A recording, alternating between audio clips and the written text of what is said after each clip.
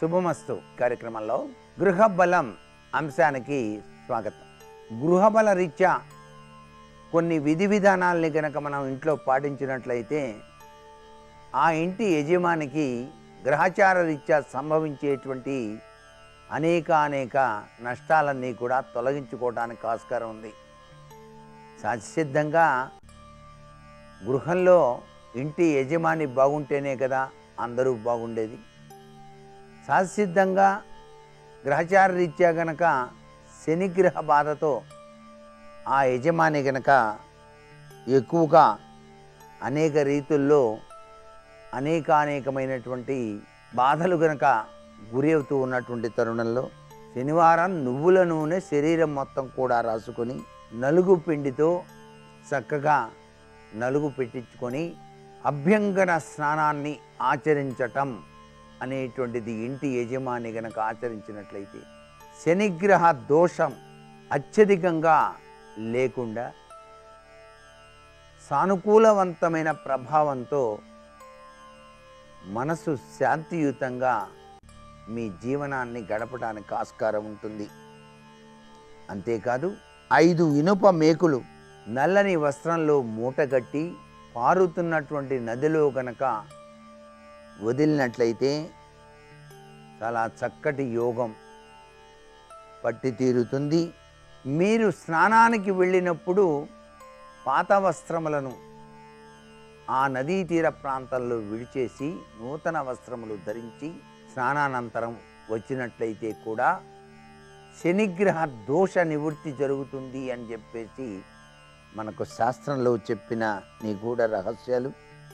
అంతేకాకుండా ఓం నమ శివాయ అనే పంచాక్షరి మంత్రాన్ని జపిస్తూ పరమేశ్వరుని గనక అభిషేకం చేసినట్లయితే శనిగ్రహ దోష నుంచి త్వరగా బయటపడటానికి ఆస్కారం ఉంటుంది.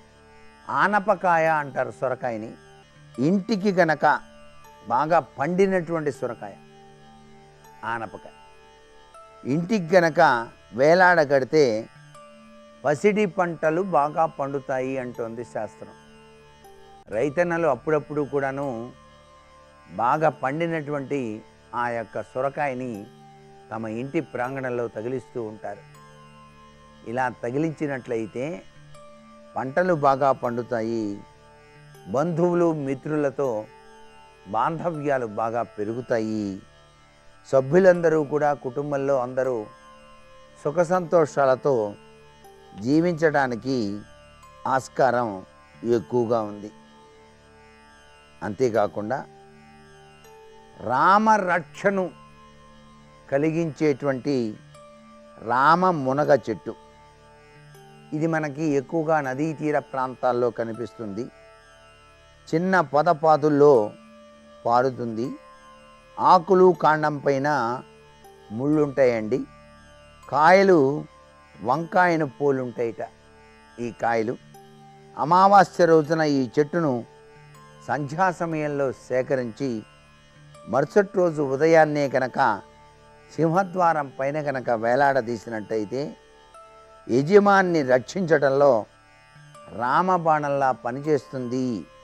జనఘోష నరఘోష కనుదృష్టి ఆ గృహం పైన పడనే పడవు అంటోంది శాస్త్రం. అలాగే చింతలు తీర్చే చింత చెట్టు చుట్టూతా గనక ఇరవై ఒక్క ప్రదక్షిణలు చేస్తూ చండీమాతను నమస్కరించుకొని ఉత్తర దిశగా పారిన చింత కొమ్మను తెచ్చి పూజా మందిరంలో గనక ఉంచి సింహద్వారం పైన గనక తగిలించినట్లయితే చింతలు గనక ఉంటే పారిపోతాయి అంటోంది శాస్త్రం. నాదాన్ని ఇచ్చేటువంటి శంఖం కూడాను చాలా బాగా పనిచేస్తుంది. అసలు ఇంట్లో పూజ చేసే ముందు శ్రీ గురుభ్యో నమ అని దీపారాధన చేసిన తర్వాత నాద శంఖాన్ని పూరించాలండి. ఆ శంఖాన్ని గనక పూరించినట్లయితే తప్పనిసరిగా ఆ భం భం అనేటువంటి నాదం విశిష్టవంతమైనటువంటి ప్రభావాన్ని ఇస్తుంది రైతుల ఇంట గనక ఇది ఉంచి గనక వారు పూజ చేసుకునే విధి విధానంలో వాడినా కూడా పంటలు బ్రహ్మాండంగా పండుతాయి అంటోంది శాస్త్రం. విద్య చదువుకునేటువంటి విద్యార్థులు కూడాను ఈ శంఖ నాదాన్ని గనక నిత్యం గనక విన్నట్లయితే విద్యలో బాగా రాణించడానికి కూడా ఆస్కారం అత్యధికంగా ఉంటుంది. ఇకపోతే మనకి చెకుముకి రాళ్ళు అని చెప్పేసి ఉండేవి పూర్వం. రెండు చెకుముకి రాళ్ళను గనక తీసుకొచ్చి పగులు రాళ్ళని కూడా అని చెప్పేసి అంటారు. వీటిని తెల్లని వస్త్రంలో కట్టి కంకణంగా గనక ధరించినట్లయితే అనారోగ్యాల నుంచి బయటపడతారు. అనారోగ్యాలతో బాధపడేటువంటి వారికి రెండు చెకుముకి రాళ్ళు. సంపాదించి తెలుపు రంగు వస్త్రంలో కట్టి వారి గనక కంకణంగా గనక కట్టినట్లయితే అనారోగ్యాన్ని నుంచి బయటపడి ఆరోగ్యప్రదమైనటువంటి జీవన విధానాన్ని కొనసాగించడానికి ఆస్కారం ఉంటుంది అంటోంది శాస్త్రం.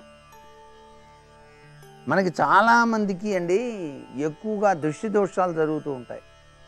బయటికి వెళ్ళి రాగానే తలనొప్పి రావటం ఇవన్నీ కూడా జరుగుతూ ఉంటాయి. వీటన్నిటినీ కూడాను రక్షింప చేసుకోవడానికి తప్పనిసరిగా కాటుక అనేది బాగా సహకరిస్తుంది.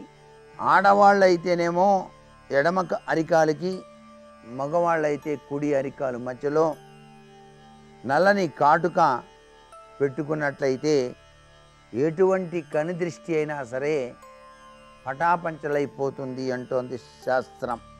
మీరు పూజా మందిరంలో పూజ చేసినటువంటి గరికనైనా సరే మీరు బయటికి వెళ్ళేటప్పుడు మీ జేబులో కనుక ఉంచుకొని బయలుదేరితే సర్వవిధ శ్రేయోదాయకవంతమైన ప్రభావం కలిగి తీరుతుంది.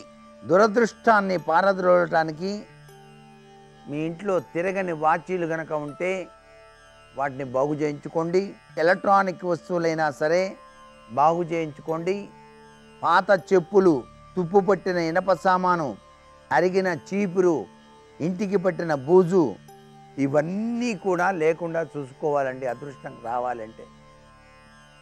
మన పెద్దలు ఎప్పుడో చెబుతూ ఉంటారు పరిశుభ్రంగా ఉన్న ఇంటిలోకి లక్ష్మి వస్తుంది.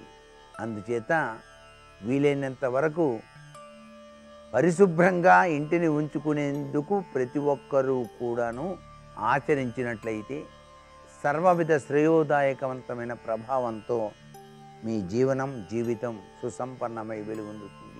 మరికొన్ని ముఖ్య విషయాలు రేపటి శుభమస్తు కార్యక్రమంలోని గ్లోబల్ అంశంలో తెలుసుకుందామా మరి? సర్వే జనా సుఖినో భవంతో.